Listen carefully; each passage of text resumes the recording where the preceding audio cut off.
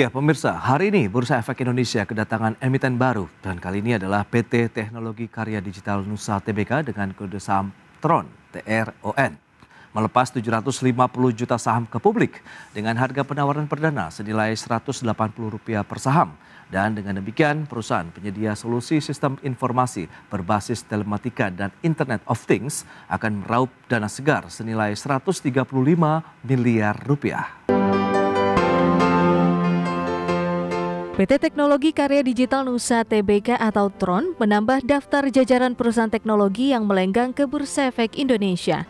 Perusahaan penyedia solusi sistem informasi berbasis telematika dan Internet of Things ini telah menetapkan harga pelaksanaan penawaran saham perdana atau initial public offering sebesar Rp180 per saham. Tron akan melepas 750 juta saham biasa atau setara 25,42 persen dari modal ditempatkan dan disetor penuh setelah IPO. Penetapan harga dilakukan setelah melakukan penawaran awal atau book building pada 10 hingga 20 Februari 2023. Dengan demikian, Tron akan meraih dana segar sebesar 135 miliar rupiah. Adapun dana hasil IPO sebesar 30% akan digunakan untuk belanja modal dalam bentuk penambahan area operasional yang berlokasi di Jawa Barat. Perseroan juga akan melakukan pengembangan sistem yang sejalan dengan ekspansi yang akan dimulai secara bertahap dari kuartal 2 2023. Sementara sisanya akan dipakai sebagai modal kerja.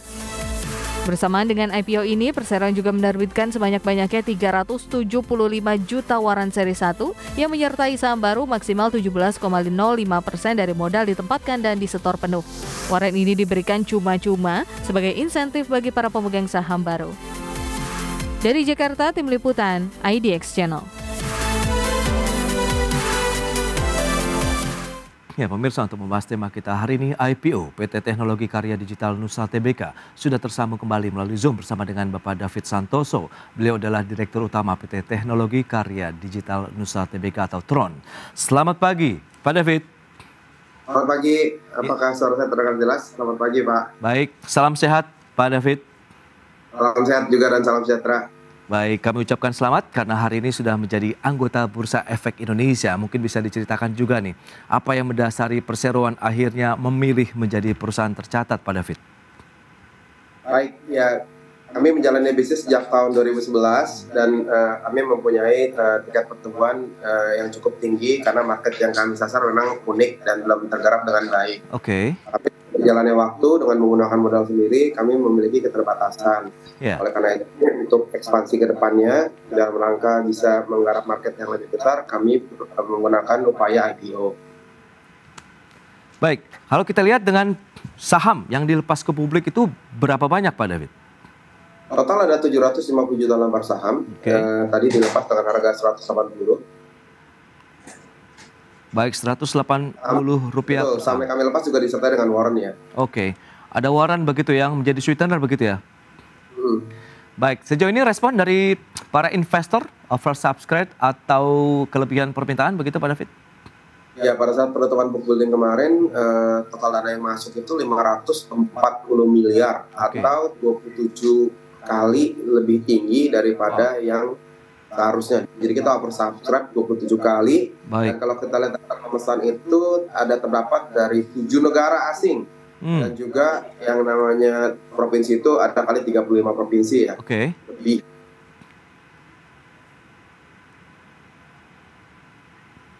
Halo? Ya. ya. Pak David, kalau kita lihat dengan kondisi yang ada memang nampaknya respon dari para investor ini luar biasa sekali begitu dan harapannya cukup tinggi untuk bisa mendapatkan cuan dari perseroan yang baru saja melantai di Bursa Efek Indonesia. Nah, lantas berapa besar sih uh, raihan dana segar yang akan diperoleh kemudian nanti dana itu akan digunakan untuk apa saja, Pak? Iya. Jadi uh, menyambung tadi informasi tadi sampai tadi pagi waktu dilepas saham kita itu masuk top 5 uh, eh, transaksi trading tertinggi ya. Wow, okay. Dalam hampir uh, berapa puluh ribu transaksi tadi di uh, papan uh, kelihatan ya. Yes. Nah, kalau untuk uh, apa tadi uh, pertanyaannya adalah berkaitan dengan total dana yang diterima ya. Betul. Kita uh, total dana terima itu 135 miliar kalau dikalikan dari 750 juta lembar saham dikali dengan 180 rupiah ya. Dan penggunaan untuk dana IPO tadi? Eh, lebih... penggunaan untuk dana tadi 30% akan kita pakai untuk capex ya kan kita berencana untuk membuat pabrik perakitan barang-barang uh, IoT dan telematics kita sehingga mempunyai komponen TKDN atau tingkat kandungan dalam dalam negeri okay. sehingga bisa bersaing lebih luas di dalam market Indonesia. 70 persennya akan kami gunakan untuk operasional perusahaan, modal kerja, dan juga pengembangan produk-produk baru. Baik, mungkin bisa dijelaskan terkait dengan pabrik perakitan begitu yang akan dibangun oleh perseroan. Ini nanti selain untuk meningkatkan TKDN, kemudian uh, produk-produk uh, apa saja yang akan diproduksi di pabrik baru nanti dan perakitan-perakitan untuk kebutuhan apa saja yang bisa diberikan juga kepada investor ini, Pak? Baik, sesuai dengan market yang kami garap, kami kan bergerak di bidang IoT dan uh, telematics untuk uh, smart city ya. ya. Nah, banyak banyak alat-alat kami yang kami import sampai saat ini dan itu tentunya bisa kita produksi sebagian di dalam negeri. Oke. Okay. Mungkin untuk komponen chipnya tetap kita impor, tapi kita bisa menggunakan sumber daya tenaga kerja untuk merakit barang-barang tersebut di Indonesia. Nah, harapannya dengan mempunyai pabrik perakitan tersebut, kita akan mempunyai uh, market pasar yang lebih besar dan tentunya harapannya harganya bisa lebih murah dan terjadi alih teknologi dari uh, prinsip-prinsip yang asing ke uh, Indonesia, terutama ke perusahaan lokal seperti kami, yaitu PT PKDN. Oke, bicara mengenai alih teknologi, ini berarti kan memang harus ada transfer knowledge begitu yang diberikan oleh si pemilik teknologi dan bagaimana dengan kesiapan SDM dari perseroan sendiri untuk bisa melakukan uh, transfer teknologi kemudian memproduksinya di dalam negeri. Betul, kami mempunyai tim selama ini memang kami kan bergerak di bidang IT. Hmm. Kami mempunyai tim ya kan yang uh, sudah siap dan uh, untuk ke depannya dalam rangka pengembangan usaha kami juga aktif merekrut menyiapkan tenaga-tenaga R&D, okay. tenaga uh, ahli di bidangnya untuk membantu proses alih teknologi ini menjadi uh, secepatnya uh, siap di perusahaan kami. Baik, dan mungkin saatnya juga Anda bisa sampaikan ya, profil dari emiten, dari Tron sendiri ini yang baru saja melantai di Bursa Efek Indonesia seperti apa ini Pak David? Ya, jadi perusahaan didirikan di oleh para pakar di bidangnya, di bidang IT, termasuk saya sendiri dan rekan-rekan. Seperti okay. bisa lihat nanti prospektus. Berdiri sejak 2011, kami banyak bergerak di bidang uh, eh, IT awalnya. Kami tadi uh, eh, IT, uh, solusi, solusi sistem, ya kan, masuk solusi yang uh, di dalam industri transportasi baik itu kendaraan penumpang maupun kendaraan barang. Ya. Profil kami lebih berat di bidang IT sebagai IT enabler. Oke. Okay. Dan serapan dari sisi penggunaan teknologi informasi atau Internet of Things yang Anda sampaikan ini lebih banyak digunakan oleh perusahaan jenis apa? Tapi tahan dulu jawabannya Pak David. Kita akan jeda dulu sebentar ya. Baik. Ya, pemirsa jam beranjak dari tempat Anda, kami masih akan segera kembali usai jeda yang satu ini. Ya, Anda masih menyaksikan market review dan berikut ini kami sampaikan profil dari emiten yang baru saja melantai di Bursa Efek Indonesia dengan kode saham Tron. Ya, ini dia teknologi karya digital Nusa TBK. IPO tanggal 8 Maret 2023. Saham yang dilepas 750 juta saham atau 25,42 persen dari modal ditempatkan. Underwriternya PT Surya Fajar Sekuritas dana hasil IPO 135 miliar rupiah dengan harga perdana saham Rp180 per sahamnya. Berikutnya bagaimana dengan penggunaan dana dari hasil IPO? Tadi juga sudah disampaikan 70% memang digunakan untuk modal kerja, kemudian 30% juga akan digunakan untuk belanja modal. Dan berikutnya kita lihat kepemilikan saham dari Tron. Ada PT Daya Kemilau Nusantara Investama, kemudian David Santoso, Rudi Budiman Setiawan dan masyarakat 25,42 persen. Lantas kita akan cermati posisi dari aset kemudian liabilitas dan ekuitas dari Tron. Aset yang dimiliki sekitar 83,3 miliar rupiah, kemudian liabilitasnya 23,1 miliar, ekuitas 60,17 miliar rupiah data per 30 November 2022. Baik, kita akan lanjutkan kembali perbincangan bersama dengan Bapak David Santoso. Beliau adalah Direktur Utama PT Teknologi Karya Digital Nusa TBK. Baik, Pak David, kalau kita cermati tadi dengan adanya pembangunan pabrik, kemudian bagaimana ekspansi akan dilakukan pada tahun 2023 apalagi dengan raihan dana segar 135 miliar rupiah. Bisa Anda sampaikan tidak sih sebenarnya produk-produk ataupun hasil uh, yang dibuat oleh perseroan ini lebih banyak digunakan oleh jenis perusahaan apa ataupun jenis usaha apa? Silakan Pak.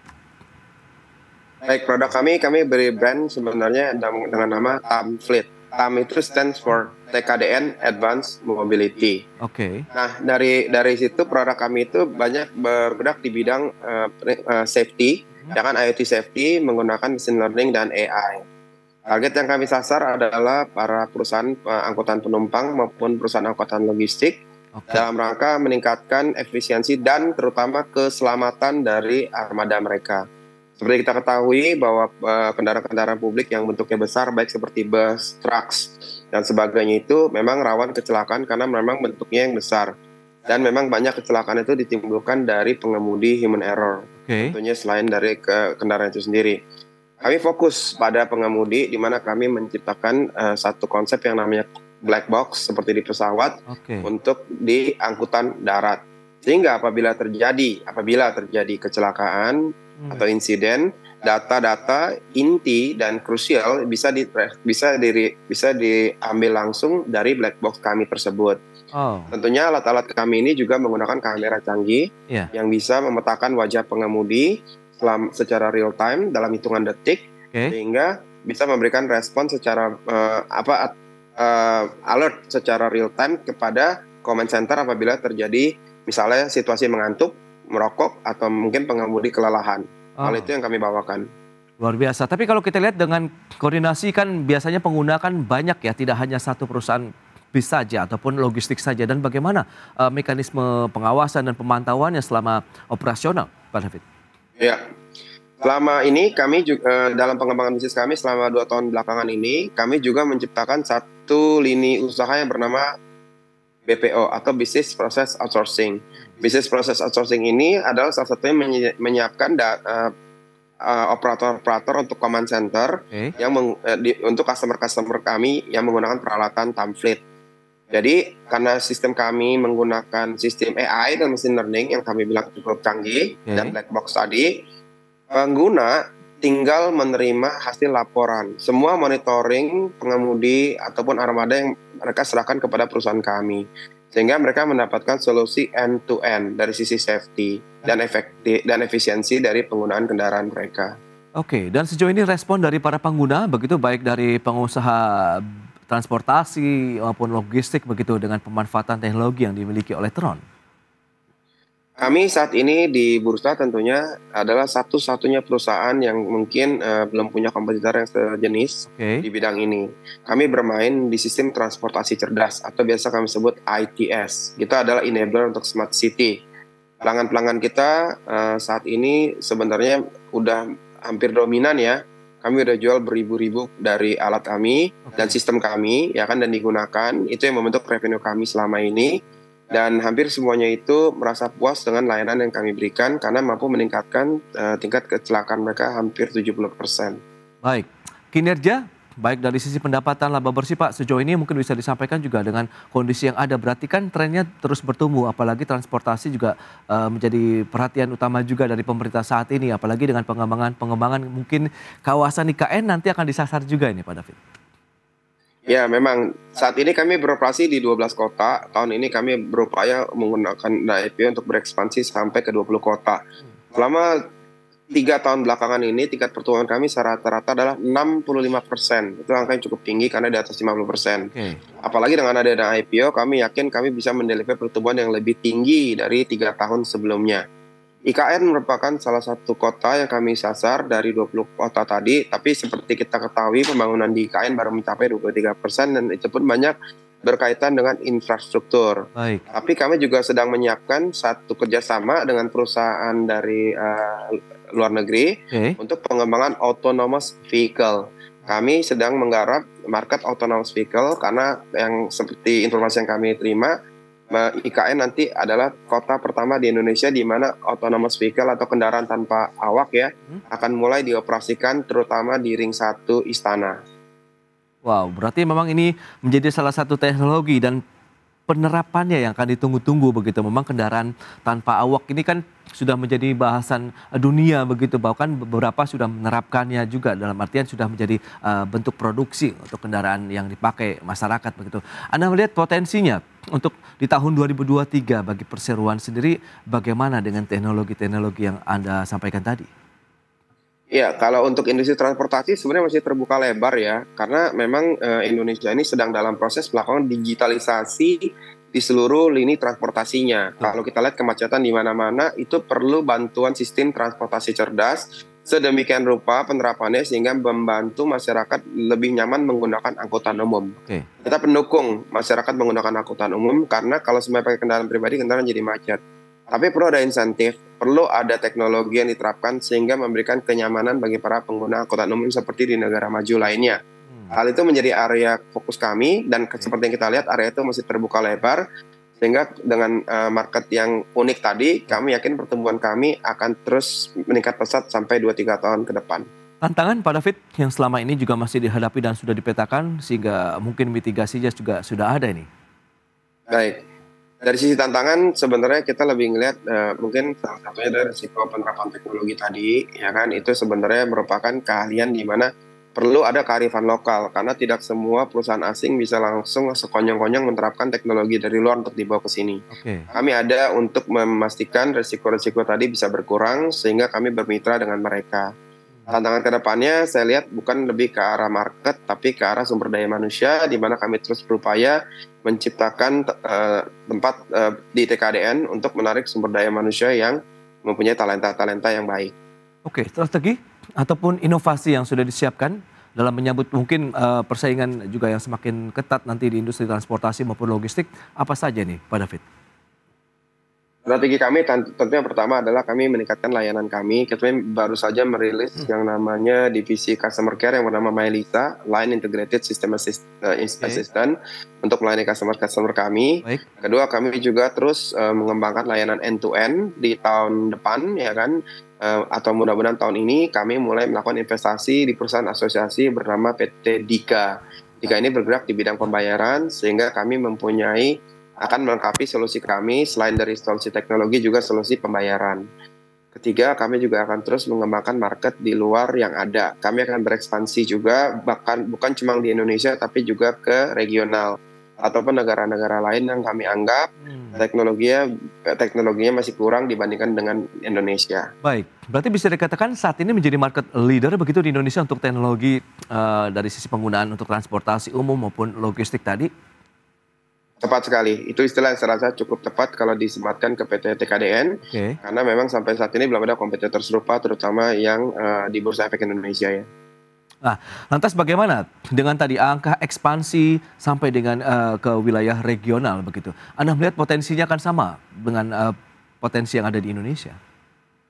Ya, Indonesia sebenarnya negara berkembang yang menuju ke arah maju. Kita semua tahu ya, penerapan teknologi di Indonesia mungkin masih uh, tidak secanggih negara seperti Amerika ataupun Jepang yang sudah maju. Tapi di negara di dunia ini ada negara-negara seperti Afrika mungkin, baik Afrika Timur, Afrika Selatan, mungkin Vietnam, Kamboja yang juga berkembang seperti Indonesia, tapi tingkat perkembangannya tidak secepat kita. Yeah. Kita bisa bawakan teknologi yang telah kita kembangkan, praktekkan, implementasikan di sini untuk dibawa ke negara-negara tersebut, sehingga potensi pertumbuhan kita masih terbuka lebar. Baik, mengingat potensi yang sangat terbuka lebar, kemudian ekspansi yang sudah dilakukan dengan pembangunan pabrik perakitan. Dan bagaimana dengan distribusinya juga terkait dengan ekosistem infrastruktur teknologi kan pemanfaatan teknologi informasi ini membutuhkan layanan ataupun jaringan internet Pak David. Iya, kalau untuk kerjasama kita bekerjasama tentu dengan uh, main telco ya paling besar tentunya yang uh, plat merah tentunya. Itu okay. pasti. Di Indonesia tingkat penetrasi internet sendiri sebenarnya cukup baik ya kan? Untuk kita menggunakan uh, jaringan seluler untuk me, yang namanya M2M ya. Hmm. untuk trip, untuk transfer data sebenarnya nggak sulit. Bahkan di beberapa daerah yang cukup terpencil pun sebenarnya sudah ada Okay. Jadi saya tidak melihat ini sebagai kendala hmm. dan untuk infrastruktur lain di Indonesia ini kita juga banyak menggunakan cloud ya, jasa cloud ya kan. Kita lihat pemain-pemain asing juga udah mulai masuk berinvestasi di Indonesia untuk mengembangkan jasa cloud. Nah, jasa cloud ini bersama jasa jaringan seluruh tadi merupakan infrastruktur utama kami untuk mengembangkan layanan di kota eh, kota-kota yang kami tuju. Okay. Hampir tidak ada kendala berarti nampaknya kita untuk melakukan ekspansi di tahun 2023 ini. Lantas, keunggulan kompetitif apa saja yang bisa disampaikan kepada pemirsa IDX Channel ini dari Tron? Baik dari segi uh, keunggulan kompetitif, uh, kami pionir, ya, kami didukung dengan tenaga ahli, praktisi, ya kan, pihak orang-orang yang berpengalaman. Saya sendiri berpengalaman di industri transportasi selama hampir 20 tahun. Saya dulu juga uh, uh, aktif di beberapa organisasi seperti Organda, ITS, okay. dan uh, intinya dengan kalian kami itu sebenarnya merupakan salah satu poin kunci untuk mengembangkan bisnis kami, hmm. keunggulan kompetitif kami. Ditambah dengan kemampuan kami melakukan uh, supaya menjadi perusahaan terbuka ini tentunya kami akan mendapatkan tambahan modal segar sehingga kedua keunggulan tadi bisa menjadi modal kami untuk uh, terus melakukan ekspansi. Baik, Pak David terakhir, target tahun 2023 apa saja yang akan dilakukan? Untuk target 2023 kita akan meningkatkan pertumbuhan secara agresif seperti saya sampaikan tadi ya kan di atas uh, 65% seperti yang telah kami lakukan selama tiga tahun belakangan ini. Oke, okay. 65% yang akan terus dijaga kinerjanya tentu akan menjadi daya tarik tersendiri bagi investor pasar modal bahkan tadi oversubscribe-nya juga luar biasa begitu ya yang dialami oleh luar biasa ya luar biasa sekali. Baik Pak David terima kasih banyak ini atas waktu dan sharing Anda berikan untuk pemirsa maju terus juga untuk perusahaan Pak setelah menjadi Baik. anggota Bursa Efek Indonesia. Selamat melanjutkan aktivitas Anda kembali. Salam sehat Pak David. Salam sehat Bapak. Selamat sama-sama.